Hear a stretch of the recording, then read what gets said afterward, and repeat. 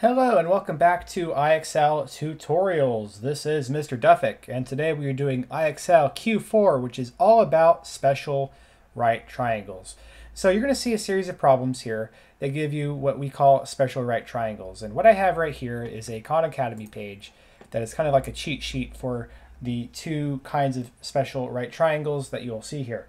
The first one being what is called a 30, 60, 90 triangle that is a right triangle that has a 30 degree angle, a 60 degree angle, and that right angle. And then the second one being the 45, 45, 90 triangle, which as you might assume is 45 here, 45 here, and then your 90 degree angle. And the reason why we call them special right triangles is when we have these specific degree values in there, and we only have one of the sides, you know, maybe just the hypotenuse or something, we can figure out what the other two are just because the ratios are going to be the same always and forever. And so it's going to be different here for the 360 90 and the 45 45 90.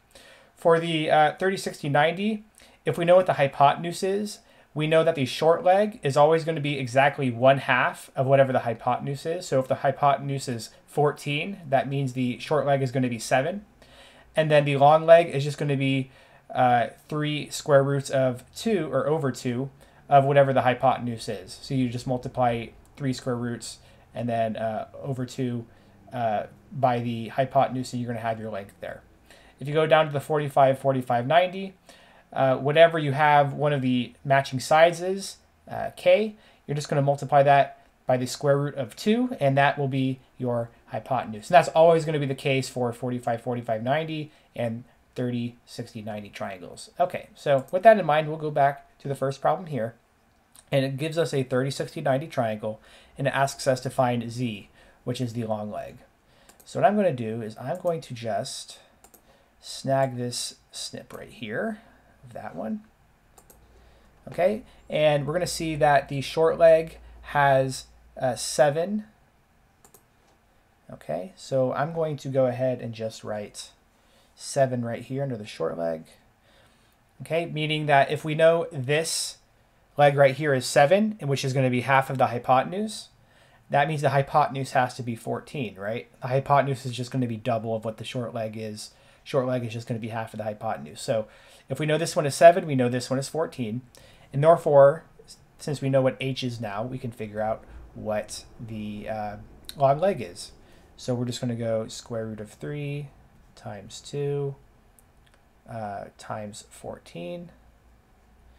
Okay, and you can simplify this to 7 square roots of 3. Okay, and that's going to be uh, what our answer is. If you go to, if you see the IXL right here, it says write your answer in the simplest radical form.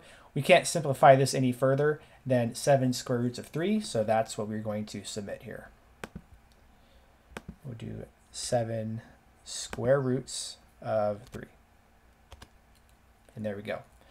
Okay, we have another uh, 30, 60, 90 triangle. Okay, and uh, this time they do give us the shorter leg as 9. And now they only want us to find the hypotenuse, right? They don't need us to find the long uh, side there. So if we know the short leg is going to be 9, and the short leg is just going to be half of whatever the hypotenuse is, and then that means the hypotenuse is going to be 18. And that is going to be your answer, right? That's what they're looking for. They're looking for t right here.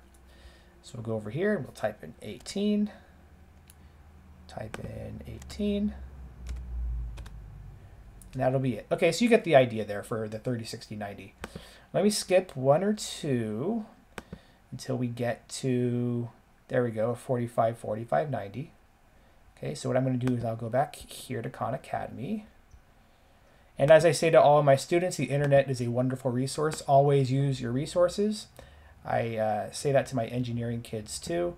Internet is a wonderful resource. It has all of this information on here readily available. If you need a formula or something, it's definitely going to be on there. Okay. Make this smaller. Cool.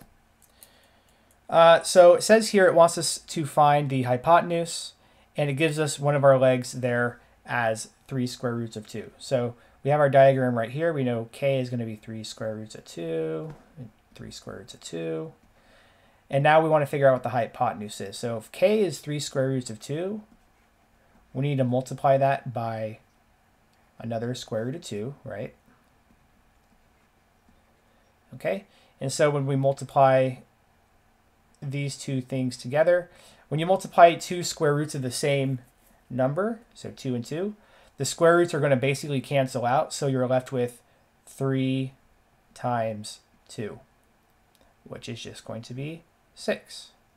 All right, so we'll go back here, type in 6, and that is going to be our answer. Okay, we have another 30, 60, 90. And I jump all the way up to a smart score of 90. And now they just give you problems without diagrams. So we'll come over here. And it says a 30, 60, 90 triangle's longer leg has a length of 19 square roots of 3. What is the length of the hypotenuse? Okay. So I'm going to go back and get a diagram right here. Go back here. All right. So we know the longer leg is 19 square roots of 3. And it wants us to find what the hypotenuse is. Okay. So let's figure out uh, what our hypotenuse is from our 19 square roots of 3. So 19 square root of 3 needs to be divided out into the square root of 3 over 2 times something else. We'll say z. And that is going to equal our 19 square roots of 3. Okay, so what can we do? Well, let's multiply both sides by 2. So we are left with square root of 3 times z equals 2 times 19 is going to be 38, and then square roots of 3. And then to get the z by itself, we will divide both sides by 3. It's the entire side by square root of 3. So square root of 3 divided by square root of 3 cancels out to 1, and then z equals um, square root of 3 divided by square root of 3 is 1, just as I said. So all we have left is 38. So z is going to equal 38, or uh, what I meant was h, right? z was just our missing variable there. So h is going to equal 38. So we'll go back here, type in 38 that's going to be your answer, okay? So this is where I'm going to stop the video. Take care and stay safe, and I will catch you for the next IXL tutorial video later. Goodbye.